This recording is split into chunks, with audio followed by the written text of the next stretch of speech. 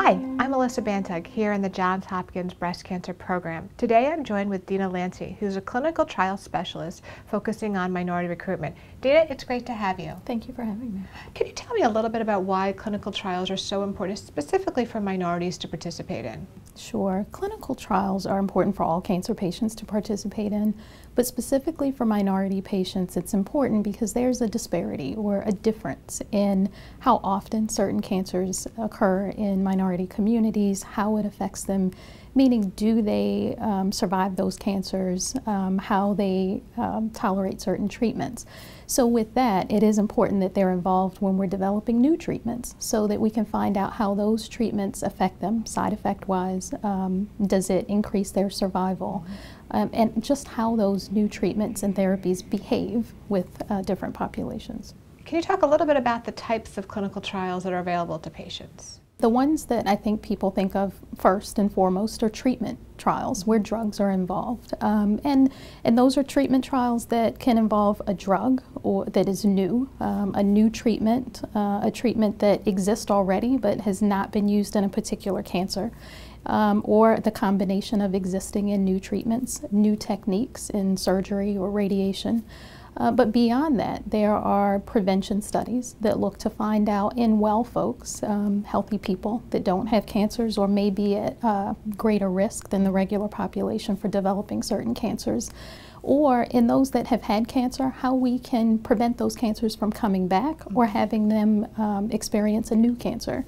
There are also screening trials, um, which we would uh, find cancers earlier, and that increases survival and the effectiveness of treatment and quality of life mm -hmm. trials. Those trials are important for people that are being treated for cancers. We, in those studies, would look at side effects. Can we manage your nausea or vomiting better, mm -hmm. your pain better? Mm -hmm. um, it can also include family members, which in that case we would look at caregivers and what experience do they have during the course of treatment. Should a patient who might be interested in participating in a clinical trial be concerned that, about his or her safety? I think that it's a natural concern, um, but I think they shouldn't worry about their safety in terms of um, the trial itself mm-hmm. because there's so many people watching in, in, in a sense. Um, a study or a clinical trial goes through multiple steps before it's approved. Mm -hmm. there is a board, an internal review board, mm -hmm. an IRB, um, that looks at each study, and that board is made up by scientists and clinicians, doctors, nurses, community members, mm -hmm. who all look at um, studies before we're allowed to enroll patients in those studies. So people are protected in a sense that it's not just a single researcher deciding mm -hmm. to um, test a new treatment um, and enroll people into a clinical trial. So it sounds like there are lots of people there making sure that patients stay safe. There are, um, from the, the direct clinical team that a patient would see, and lots of people that are behind the scenes that would have reviewed uh, a clinical trial and decided that it's important, mm -hmm. it's as safe as it can be, um, and that it's okay to enroll. Are there other barriers to participating in a clinical trial beyond safety concerns? I think there are, and there are some that are considered on the patient side, mm -hmm. some that are internal to us mm -hmm. in, within an institution, but some of them are the demands of a trial itself. Do you have to come multiple times? Is this an inconvenience for you and your family? Can you work mm -hmm. uh, when you are on this study? Um, knowledge barriers. Mm-hmm. Um, what, do, what do you know about clinical trials? Um, your understanding of your disease, um, trust and fear of sure. medicine in general, and then more specifically of clinical research, because there is an unknown mm -hmm. there. As safe as it is to participate, there are things we don't know because those studies are um, set up to answer questions for us. Now, is cost and ever a barrier? Is insurance something that would usually pay for part of participation in a clinical trial? I think it's a, a it is a, a, barrier that I didn't list. It is certainly a consideration, and in standard of care, it's always a concern as well. Sure. Um, but I think individually, patients considering clinical trials should um, take a look and get help from their physician and the financial team at the institution with um, their specific insurance. Mm -hmm. But in general, um, anything that's considered standard to treatment of your care, mm -hmm. the mm-hmm. doctor visits, the how your cancer would be monitored, mm -hmm. are all generally covered. The things that um, research covers would be the drug that's under study, Um, if there are additional tests that are being done, blood tests or Mm-hmm. scans to evaluate the drug and the response that your disease has to the drug, are typically research um, tests, so they are covered by the study. And so there would be no cost to the patient if it was covered by the research study. Those pieces of that Sure. treatment would be right at no cost to the patient. Um, doctor visits that you would have anyway would be uh, Sure. covered by the insurance or Sure. um, the responsibility of the patient.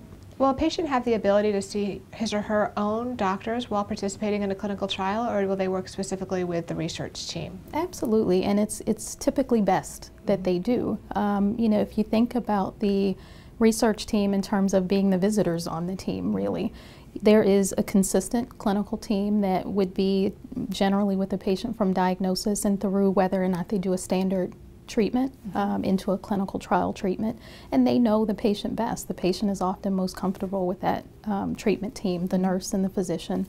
That team is typically the one that discusses a clinical trial initially and helps the patient make the decision. Um, and they are an important part throughout the care, even on a clinical trial, in monitoring the um, progress and the effects of the clinical trial treatment. So you don't give up your regular oncology team to um, join a clinical trial. Does the patient have the ability to stop a clinical trial at any point in time if it's not working for him or her?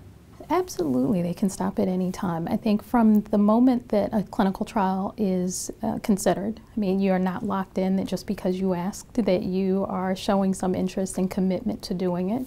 And even if you say you'd like to do it, if at some point it's not right for you anymore, the schedule is too demanding, or the side effects of the drug are inconvenient for you, or they don't match with the quality of life that you expect to have, mm-hmm. you can say that you'd like to stop. And that will in no way impact the care that you receive after that. You'll work with your regular oncologist to decide what the next step should be and what the next treatment should be. And finally, one last question. If someone wants to find out more about clinical trials, where would be a good place to learn? I think the first step would be to talk to your medical oncologist. They are a wealth of knowledge, and not only in what's taking place at your hospital and with their team, but also across the country and, and close to um, that hospital. There's al always a network. But in speaking to that network, there are two national sites that I think are good places to look. Uh, clinicaltrials.gov is a place that will allow you to search clinical trials near and far. Um, it gives some information about the trial and tells you who's running that trial and um, how you can contact that team. In addition, cancer.gov will also let you search clinical trials, but it is a great resource for um, understanding clinical trials, expanding on some of the things that we've discussed, um, and also giving some disease specific information. Wow, this has been wonderful. I feel like I've learned so much. Thank you very much. Thank you for having me. Thank you for joining us.